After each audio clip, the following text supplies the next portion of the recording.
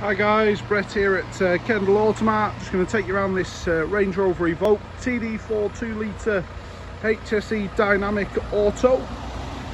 Finished in Carpathian Grey with the 20 inch alloy wheels.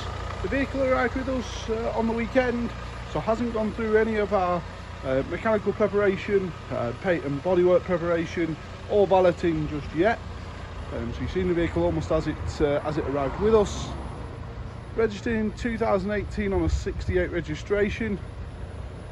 Plenty of specification inside which I'll uh, show you in the video. But you got the 20 inch rims.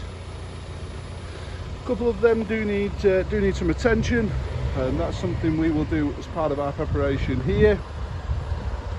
So uh, no need to worry on that. But a lovely uh, lovely paint finish.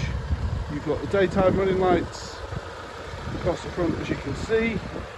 Front and rear park sensors rear parking camera uh, leather interior.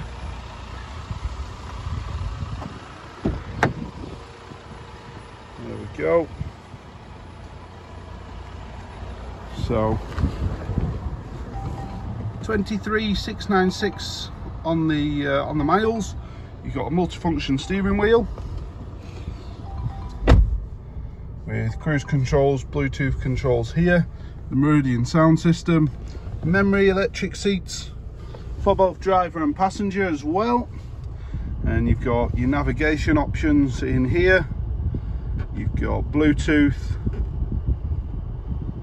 audio's FM, AM, digital radio. You've got your online media, media libraries in there as well. So uh, plenty of uh, plenty of options in there we go. As you can see you got the heated seats in here that are controlled. And as I pop into reverse. You see the rear parking camera then becomes active. As you come further down you've got uh, some shortcuts for your uh, heated seats here. So three stages of heating for driver and passenger.